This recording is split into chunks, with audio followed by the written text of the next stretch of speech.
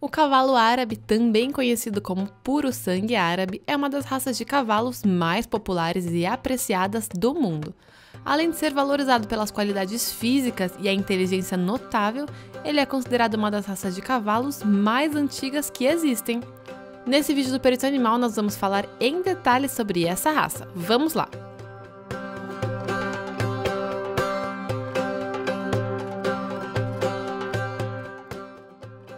Cavalo árabe foi desenvolvido na Península Arábica, no Oriente Médio, onde ele era especialmente apreciado por tribos nômades beduínas. Estima-se que eles existam há mais de 3 mil anos, tal é a sua importância no país de origem. Atualmente, existe até um programa nacional para manter essa raça. O cavalo árabe também se destacou como um cavalo de guerra e logo começou a se expandir graças aos mercadores e exércitos muçulmanos. Com o passar do tempo, ele foi envolvido no desenvolvimento de outras raças, como é o caso do cavalo andaluz. E mais tarde eles chegaram ao Novo Mundo pelas mãos dos conquistadores espanhóis, e aí continuaram a se expandir.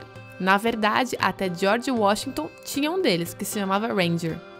O cavalo árabe de raça pura tem características físicas únicas. Por exemplo, se nós analisarmos a anatomia e o esqueleto dele, nós já podemos perceber que ao invés de 6 vértebras e 18 costelas, alguns cavalos árabes têm 5 vértebras e 17 costelas, o que facilita o levantamento da cauda de uma maneira característica.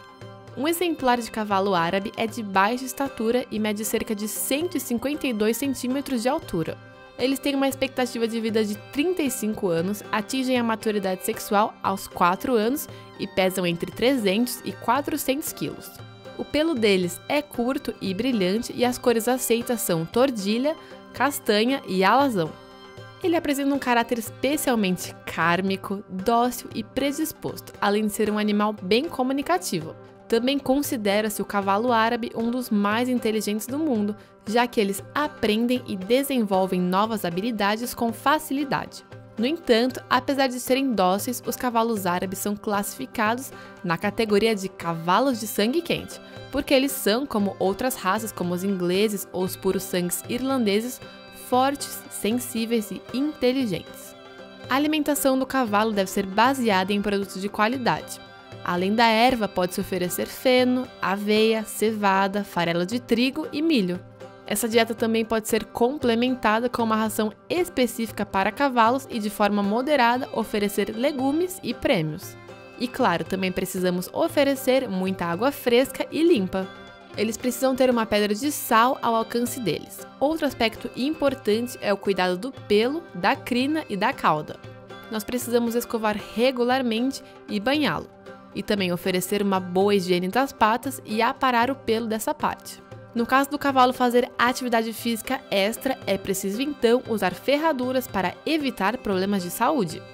No geral, o cavalo árabe é bem forte e resistente, mas como acontece com todas as raças, ele tem uma certa predisposição para o desenvolvimento de certas doenças. Para evitar isso, é importante oferecer uma boa nutrição, higiene e medicina preventiva, assim como a desparasitação e vacinação do cavalo. Algumas das doenças mais comuns dessa raça são transtorno de imunodeficiência combinada grave, abiotrofia, síndrome do potro lavender, má formação óxito atlantoaxial. Esse foi o vídeo de hoje. Você já conheceu o cavalo árabe? Conta pra gente nos comentários. E se você gostou, não esqueça de curtir e de se inscrever no canal do Perito Animal. Até o próximo vídeo, peritos!